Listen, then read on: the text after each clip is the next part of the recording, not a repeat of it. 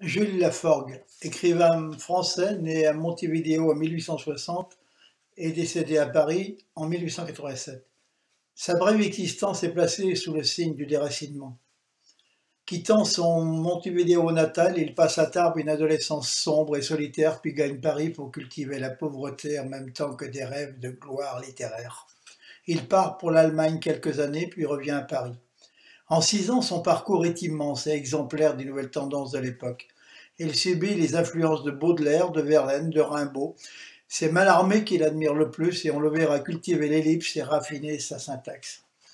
Ses veines sont étayées par un substrat philosophique qui ira en s'atténuant.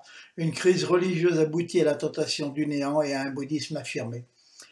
À l'hégélianisme s'ajoute la découverte de l'inconscient, par la philosophie de l'inconscient de Hartmann, qui accentue le pessimisme nourri de la lecture de Schopenhauer et motive sa conception de l'art qui est tout du droit divin de la conscience.